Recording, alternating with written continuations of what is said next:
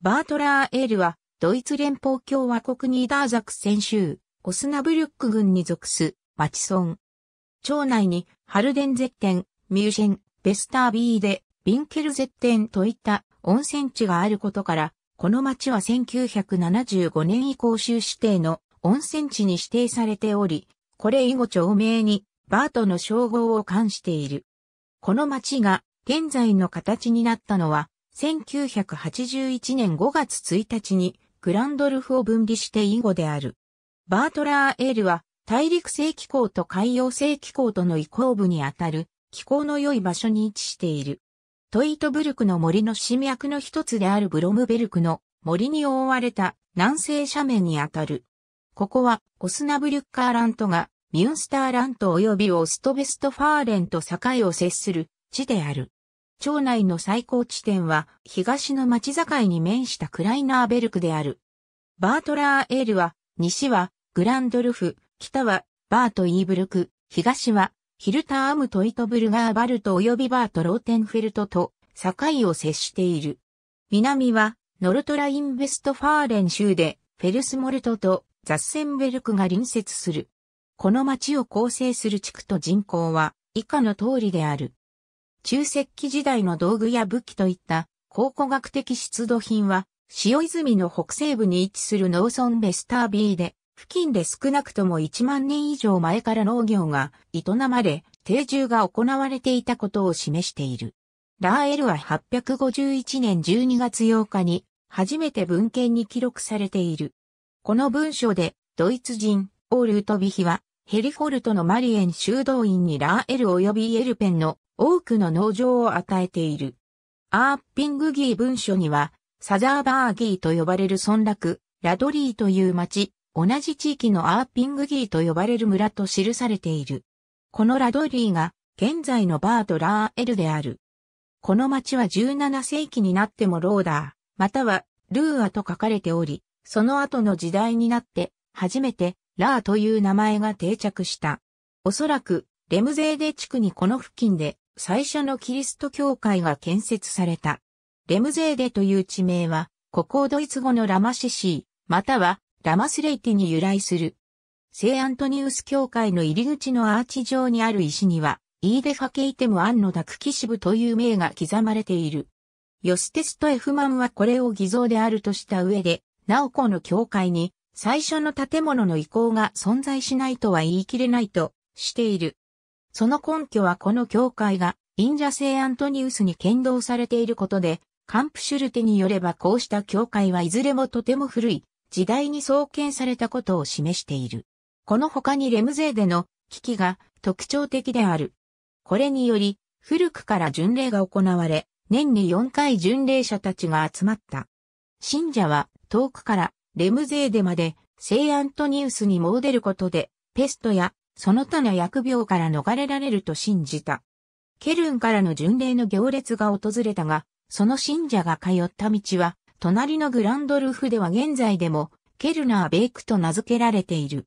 17世紀から18世紀には宝石と食符が住民の重要な収入源であり、この教会区は19世紀に入るまでオスナブリュック地方のリンネル織の中心地であった。ラーエルのリンネルは二人のレッケメスターがリンネルの品質を吟味して製品等級を決めていたため、特に評判が良かったのである。クワパークの吸入パビリオンシュプリングマイヤースコルクでは、最後の表記以降、約 1.40.9km のレンズ型の岩盤から炭酸を多く含んだ塩水が自然に湧き出している。コルク線が徐々に真水になっていったが、1580年にエルプケッターペルスターが食塩を再度得ることに成功した。1836年にはフォルエルベ・シュプリングマイヤーが温泉業を開始し、領主館をクアハウスに改造した。ラーエル町は1969年に源泉の権利と温泉の建物を獲得した。1938年にボーリングされたマルティン線や、1973年に掘り当てられた7%の塩分を含む源泉は、近代的なクアハウスの建設を可能にした。クアパークの最も良い景観は、ブロムベルク付近からの眺めである。ここはブナの森の特別な植物賞で際立っている。1975年9月1日、町名にバートのソエナが冠された。2010年、バートラーエルの古いクアパークは、新しい浴槽、バールイコールパルクと運動用広場、ザルツバッハからグロッケンゼーを通る川沿いの歩道を持つ体験型クアパークに改造された。コルク線とマルティン線との間に屋根付きの吸入パビリオンが設けられた。この建物の内外では、市場化装置と同様に突起のある壁を塩水が少しずつ流れ、塩分を含んだ空気を吸い込むことができる。1972年7月1日、アベルフェールデン、グランドルフ、レムゼーデ、シールロー、シュベーゲ、ズーデンドルフ、ベステンドルフが合併した。1981年5月1日、グランドルフが分離された。1972年7月1日に合併した町のうち、レムゼーデだけがバートラーエルに残った。町名の古い表記は、851年ラドリー、1074年、ラスラ、1171年ローテア、1447年、ローダー、1565年ラーである。地名には、古めかしいゲルマン語の R エレメントが残っている。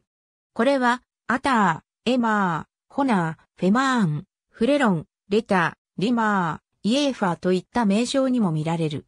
R エレメントが用いられる地名の語源として、信憑性が高いのは、水、汚れ、湿気を表すというものである。バットラーという地名の由来は、湿った村、水沿いあるいは泥水沿いの村であったと考えられる。以下の表は、各時点での町域における各年12月31日時点の人口を示している。数値は、1987年5月25日の人口調査結果に基づくニーダーザクセン州統計、及びコミュニケーション技術局の研究結果である。1961年と1970年の数値は1972年7月1日に合併したレムゼーデを含めた人口調査の結果である。この町の議会は20議席で構成され、これに投票権を持つ議長として町長が加わる。バートラーエルの専任の町長はトビーアス・アバーマンである。彼は2018年9月2日の町長選挙で57.77%の票を獲得して町長に選出された。バートラーエルが用いている紋章は赤字で5本の垂れがある銀のレーブルの下に銀の破風、基部には青い波体が描かれている。聖マルティン教会、バートラーエルの象徴的建造物はカトリック聖マリエン教会の初期ロマネスク様式の教会塔である。バートラーエルの教会塔は、オスナブリュック地方では、唯一、戦闘屋根でなく、階段破風を持つ、切妻屋根の中世の塔である。この塔は11世紀に建設された防衛塔に13世紀に増築がなされたものである。水平に8の字型をした二重環状集落であるバートラーエルの中心部に現在も建物群に沿ってキルヒホーフスブルクの痕跡が見られる。キルヒホーフスブルクを中心とする環状集落に世俗建築の中心であるティープラッツを有するもう一つの環状集落が接している。新しい建物は少なく、この町の中心部は魅力的な木組建築からなる歴史的景観を残している。グロッケンゼ周辺のクアパークの近くに野外音楽堂を有する集会広場がある。ここでは夏になると定期的に野外コンサートが行われ、当時客や観光客の主要な目的の一つとなっている。聖マリエン教会のジョニー司祭館には、郷土博物館が入居している。アオールブリンクには、リンネル産業を記念したリンネル織の石踏みが建立されている。千本の松明祭ラーエルは1900年に新しく建設されたトイトブルガーバルト鉄道で結ばれた。この路線は南はギュータースロー及びフェルスモルトから現在のクアセンターまでを結び、1901年には北に向かってイーブルク、レンゲリヒ、テックレンブルクを経由してイベンビューレンまで延長された。TWE は1968年にフェルスモルト以北の旅客運行を廃止した。2004年には1955年に建設された駅舎が2007年には旧貨物駅も解体された。その後、敷地には老人向けアパートを含む家屋が建設された。バートラーエルに到着したトイーコールエクスプレス2014年以降特別列車として運行されている軌道バス現在、キャプトレーンドイチュラントが保有する。この路線は、ギュータースロー・ハルゼビンケル間の旅客運行再開が議論されているが、フェルスモルとバートラーエル間の延長は計画されていない。しかし、下記には保存鉄道のトイーコールエクスプレスが運行され、直接クアパークに停車する。その運行日には、テックレンブルク、ミュンスターラント、オスナブリュッカーラントから400人近くの日帰り観光客がこの湯治場を訪れる。2011年9月以降行われているバート、イーブルクグラーネ付近での路線閉鎖により、バートラーエルにレンゲリヒからのトイコールエクスプレスは到着しない。2012年1月にバートラーエルでアクティオンビュントニスプロ TWE が発足した。この団体は特にトイトブルガーバルト鉄道を延伸し、レジャー、観光用の交通機関として、これを活用することを目的としている。2014年以降、バートラーエル駅は、ギュータースロー及びビーレフェルト方面からの軌道バスを用いた特別観光列車の目的地となっている。